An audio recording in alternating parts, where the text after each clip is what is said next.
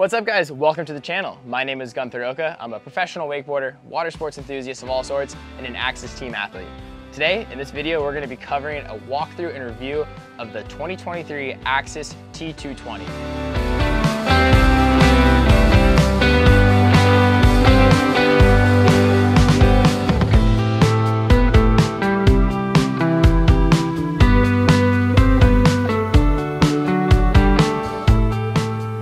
T220 is the upgrade from the previous year model T22 and is also the little brother of the flagship model, the T250. You can find more about the T250 in the video here.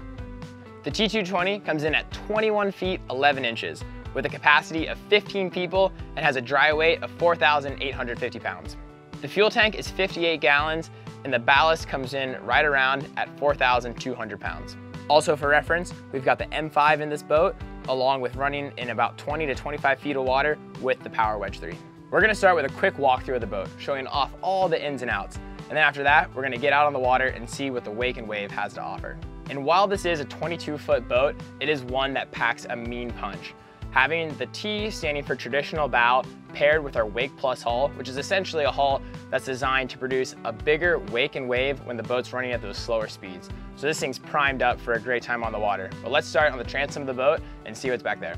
We're on the transom of the boat and standing on the platform, the one thing you'll notice right away is just how spacious it is for starting and ending your session on the water. Plenty of room and also the soft grip flooring on the platform is gonna be really nice on the feet and you'll find that flooring throughout the rest of the boat as well.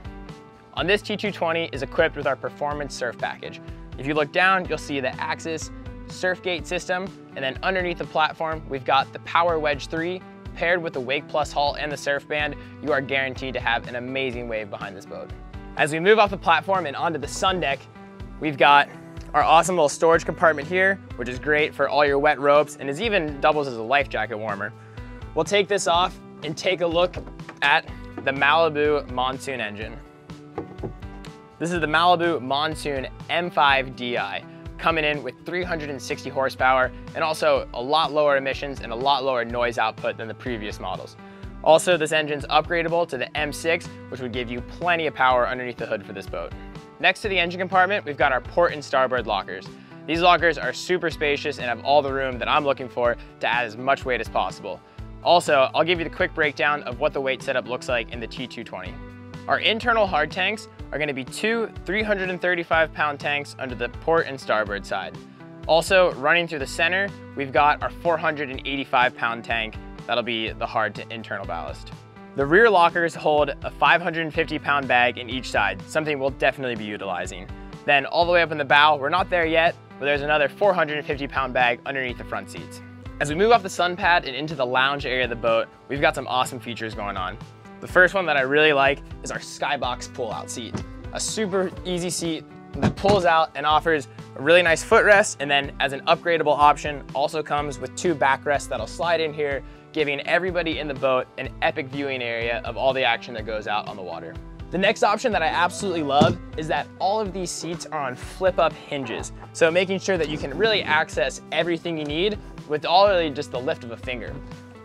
On the port side, you're gonna have a really deep storage compartment, and on the starboard is where your ice box and cooler is gonna be. We've got plenty of cup holders to go around as well, making sure there's never a drink that doesn't have a place. And then once again, just really nice deep storage compartments through the port and starboard side. Along with the cup holders, we've got our soft grip phone holder, which is a perfect place to make sure those floats don't go sliding around the boat and stay dry. The AW20 tower is a great addition to the T220 as well. Coming with our bungee board racks, these are great to have, you get one on each side. However, I would recommend upgrading to the PTM clamping edge board racks. Those are a total game changer. Here, we've got our six and a half inch wet sounds, plenty of volume, plenty of sound for all the riders out the back. The Bimini on the T220 has also had a very nice facelift from the T22, with the Bimini covering much more surface area of the boat, giving all your passengers a lot more shade, and then also having these really nice zip up pockets to hold surf ropes and really just anything you need up there. The helm is the best seat in the house, making driving the boat for long days in the water super easy. Comes with the bolster seat that flips up, allows for extra visibility over the mirror, and then also just the nice option to move the seat forward and backward, and then having the sub on the floor by the feet, extra sound, extra good times.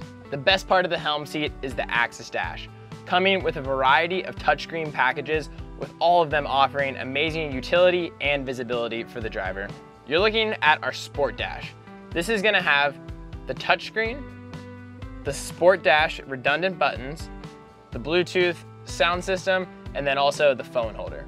We do have two other options as well, with the baseline package being our Core Dash, which comes with the touchscreen, just the start and stop button, the Bluetooth stereo system, and the phone holder.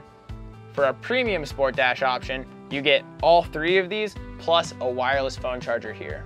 The Axis Dash didn't have my heart in the beginning, but it's absolutely grown on me the more that I've used it. With having so much open space for the driver to see, have a clear line of sight in the path that they're going, and also having the soft grip up here to hold your phones, hold your snacks, I really just like what they've done with the layout.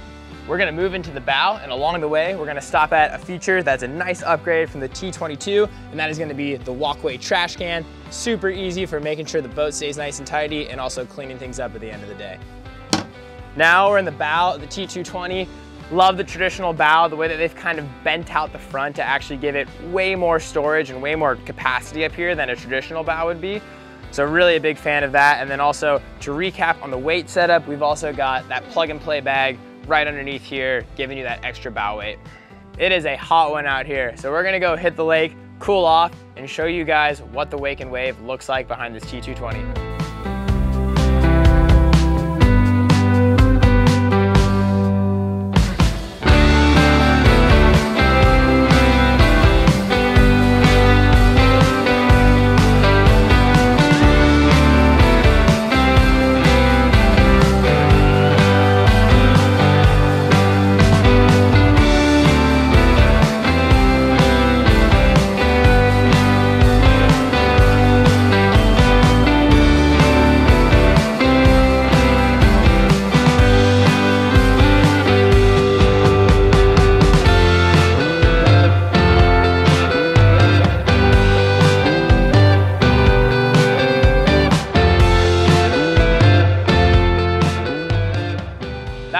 Incredible time in the T220.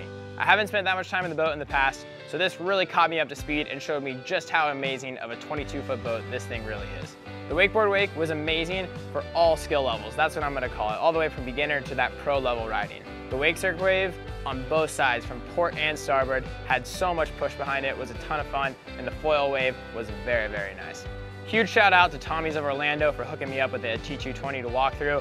Also, check out your local dealership to get yourself in one of these bad boys. Don't forget to like, subscribe, comment. I hope you enjoyed the content. We'll see you next time.